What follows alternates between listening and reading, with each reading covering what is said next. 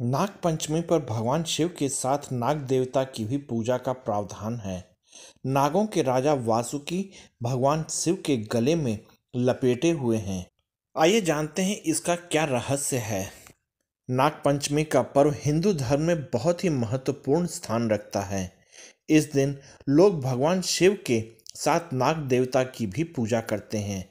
उन्हें दूध पिलाते हैं। माना जाता है कि नाग पंचमी के दिन महादेव के अलावा नाग देवता की पूजा करने से काल सर्प दोष और राहु केतु के बुरे असर से छुटकारा मिल जाता है।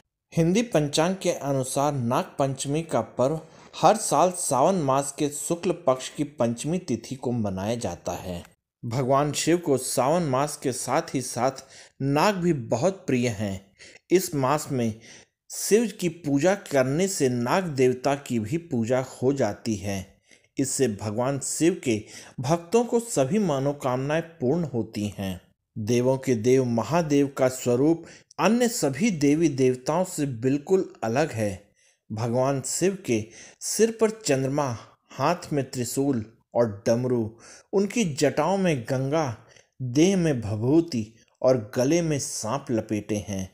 लेकिन इन सब के पीछे कुछ न कुछ रहस्य ज़रूर है। नागराज वासुकी के लपेटे रहने के बारे में एक पौराणिक कथा प्रचलित है। इस कथा के अनुसार नागों के राजा वासुकी अपने सगे संबंधियों एवं परिवार के साथ पाताल लोक में रहते थे। भगवान शिव के अनन्य भक्त वासुकी उनकी पूजा में लीन रहा करते थे। धार्मिक मान्यता है कि शिवलिंग की पूजा का प्रचलन नाग जाति ने ही की थी।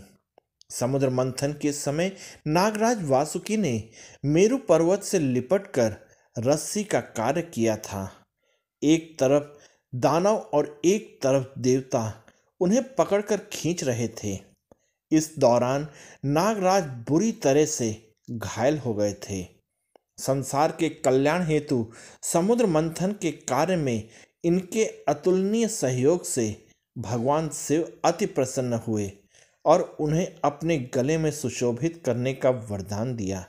तभी से नागराज वासुकी भगवान शिव के गले में हार के रूप में विराजमान होकर उनकी शोभा बढ़ा रहे हैं। वहीं नागराज वासुकी के भाई शेष नाग भगवान विष्णु की सैया स्वरूप में विद्यमान हैं।